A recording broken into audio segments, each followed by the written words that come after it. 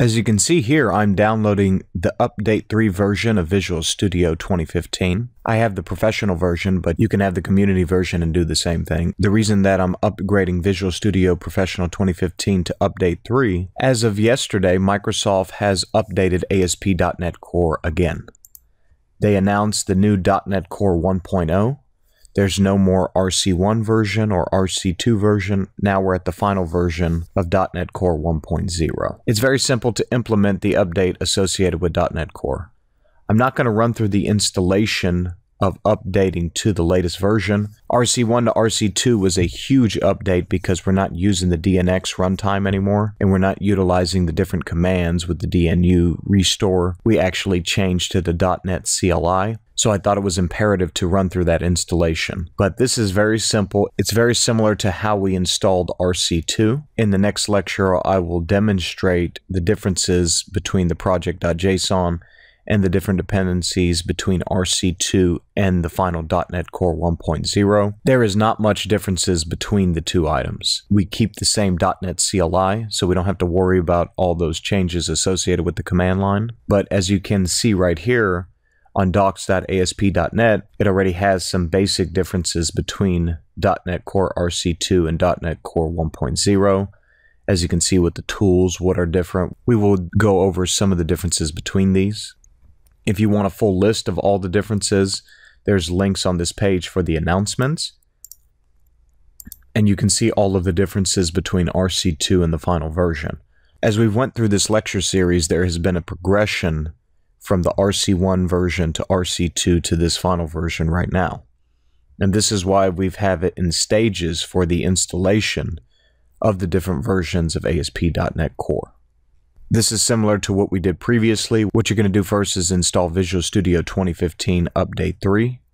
Then you're going to install .NET Core for Visual Studio, the official MSI installer. And then if you don't want to develop with Visual Studio, you can always install the .NET Core SDK for Windows. This shows you how to initialize some code. One thing you want to remember is that you want to go to your control panel and you want to remove previous versions of .NET Core. So you want to come in here and you want to go to your programs and features. You want to search for RC2 SDK Preview 1 and Visual Studio 2015 Tooling Preview 1. These two are going to be removed, so I would go ahead and uninstall these dependencies right here because we're not going to use these going forward. You're going to have a different SDK now and a tooling preview associated with .NET Core 1.0. Your best bet is to go ahead and uninstall these two in your programs and features on Windows so that once you install the new preview and the new SDK, there will be no confliction in your .NET CLI. So that's the way we do it on Windows. On Linux, it's pretty much similar to what we did previously. We'll run these commands via the command line in Linux. We'll install the new .NET Dev Preview 2 version here. Before we do that, we want to make sure that we run this script to remove previous versions of .NET Core, so you can copy that and run that in your scripts. And the same thing for Mac as we did before. We want to update brew, install OpenSSL, force OpenSSL, and then we can go to an installer to install the .NET Core SDK.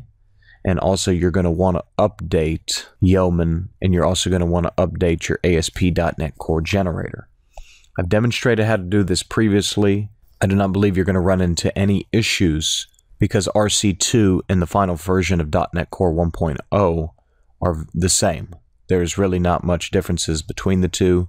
A few library reference differences, a few references associated in your project.json and your startup.cs, but there are not major changes like there were between RC1 and RC2.